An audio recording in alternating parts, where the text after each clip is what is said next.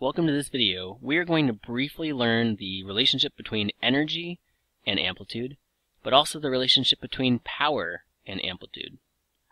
Okay, so we're in our notes. This is the fourth from last page. Regrettably, there are no page numbers, but that's okay. It's the fourth from last page, uh, the fourth sheet, I should say. It's the back side of that sheet. We know that big waves have more energy, and little waves have less energy. That makes sense intuitively. But what's the exact relationship? We describe the size of the wave using amplitude, A, and the energy we use, E. The same thing is true for power. Power is how quickly energy is carried by the wave. Big waves carry more energy, therefore they have a larger power. Energy is transferred at a bigger rate because there's more energy. So, here's the relationship. The energy carried by a wave is proportional to the amplitude squared. Let's write that down. E is proportional to amplitude squared. That means if I divide both sides by a squared, and I turn this from a proportionality into an equation, I have this, which essentially states if you take some first energy and some first amplitude, the ratio of e to a squared is the same. You could then take a second energy and a second amplitude. So let's say for these two waves, they have different amplitudes, they have different energies, but the ratio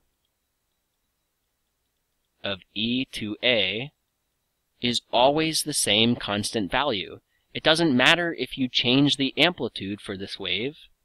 The energy adjusts so that the ratio, e to a squared, is always the same. The same is true for power.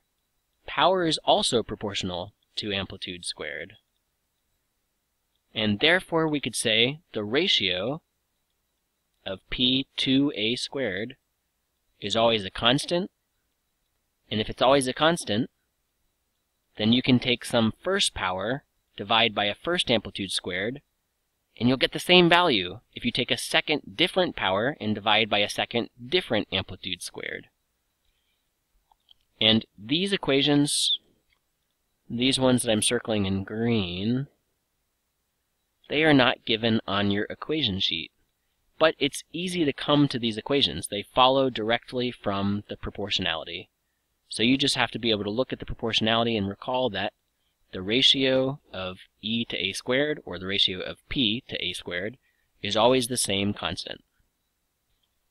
So real quick, let me just point out how these problems look and what we're doing.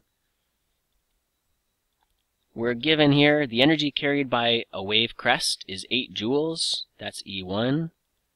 When the amplitude is 24 centimeters, that's A1. In some amount of time, the amplitude decreases to 6 centimeters. That's a new, different amplitude.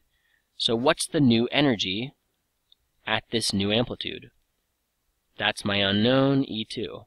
You can see they've asked us to calculate E2 while giving these three values. It's okay to leave the, the amplitudes in centimeters as long as you plug into the, uh, to the two sides using the exact same unit. So you can use centimeters here, centimeters here, and then that unit will cancel out, allowing you to calculate the energy in joules.